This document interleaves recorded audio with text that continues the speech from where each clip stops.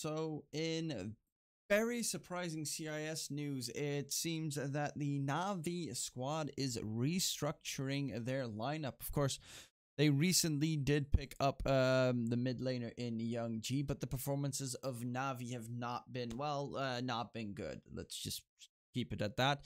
Um, and they have benched three players, include uh, and their coach. Uh, they've benched Crystallize, Pasha, Young G, and Mag. So they bench their safe laner, their mid laner, and their off laner, and their coach.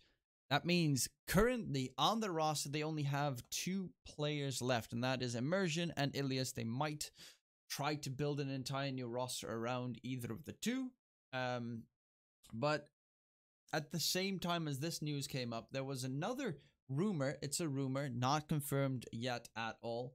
Um, about actually Illias and also GPK that they would be joining the new V well VP Prodigy uh, in their new roster. It would be interesting because that means that the only one that's pretty much not benched from Navi would be joining another organization in uh, VP Prodigy, which is oh it's it's weird to see such a massive switch up coming through, especially after so many failed attempts from Navi to try and buff up the rest. I mean, they've been struggling ever since Dendi uh, left I mean, even before Dendi left, they've been struggling for years now to try and get that solid roster going. But this is a a big surprise nonetheless, especially uh, Crystallize has been their safe laner for ages, um, getting benched as well. I am actually really interested in what they're going to bring to the table, um, how they're gonna, you know, who they're gonna be picking up, what their thoughts are. Maybe they're gonna build an entire new roster, a la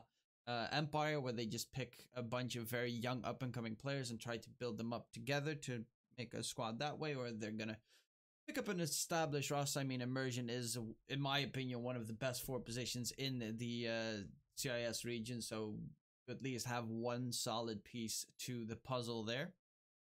But yeah, a surprising turn of events, surprising news, I would say, and uh, definitely interested uh, to see how this will continue how Navi can actually get back to being one of those top tier CIS teams because let's face it, they haven't been in that seat for uh, for a while now, and uh, teams like Flight to Moon have caught up, and uh, well, VP is sort of back. VP Prodigy actually has been doing amazingly as well. So, um, yeah, and with Gambit also dying, CIS is in a little bit of turmoil to try and get a footing back in Dota.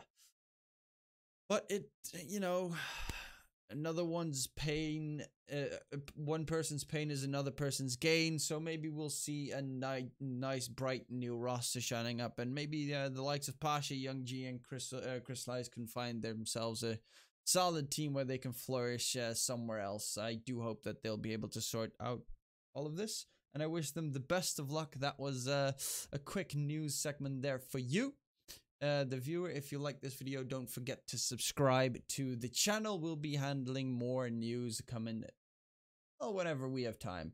And the news is keep gonna keep on flowing. See you guys later.